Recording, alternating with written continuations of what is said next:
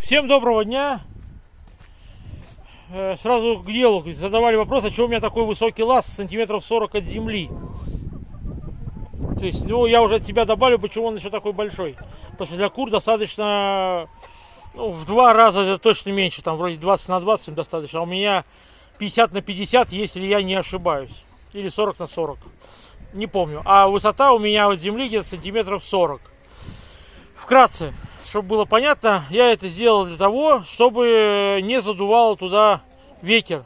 Потому что у нас в Ленинградской области есть не только лето, но и зима. А еще бывает, если я не буду чистить там снег, в старых видео это есть, то снег у меня поднимается в аккурат до этого лаза. Вот здесь немножко больше говна, чем обычно.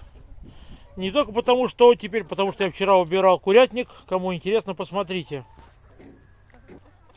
Лапа мне не даст соврать, как говорится.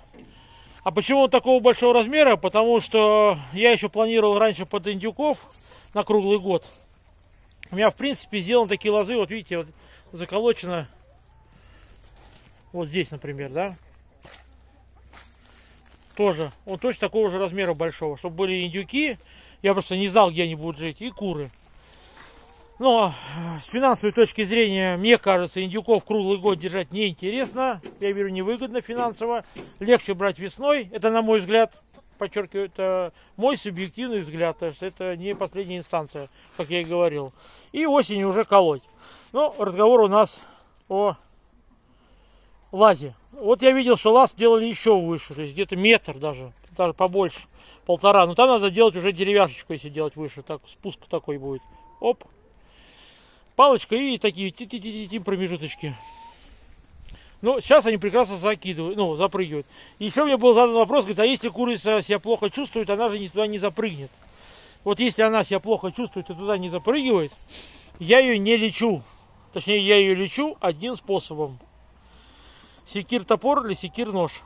Два варианта. И компостная яма. Потому что я не дождаюсь, пока она будет мне заражать всех остальных. Это касается вообще всех.